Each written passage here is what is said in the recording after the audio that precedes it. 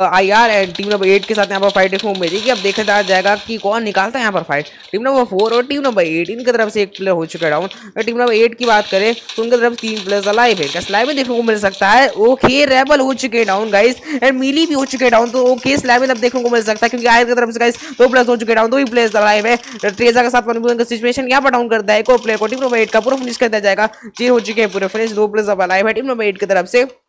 Ashique and scout guys वैसे तो two v two की सिचुएशन है। अगर स्लैमिन नहीं किया तो फोर वी टू की सिचुएशन हो सकती है। तेजा ने एक और बंदे को डाउन करता है। इसके ओनली लाइव उनके सामने एक प्लेयर था। एंड विद दैट यूजी यहाँ पर इस डाउन कर दिया जाएगा। तेजा के द्वारा, अगर इनकी किल्स की बात करें, तेजा कमी with guys one v four kills देख सकते हो गाइज़ इनके चार किल्स इनके बाकी टीम ज़ीरो किल्स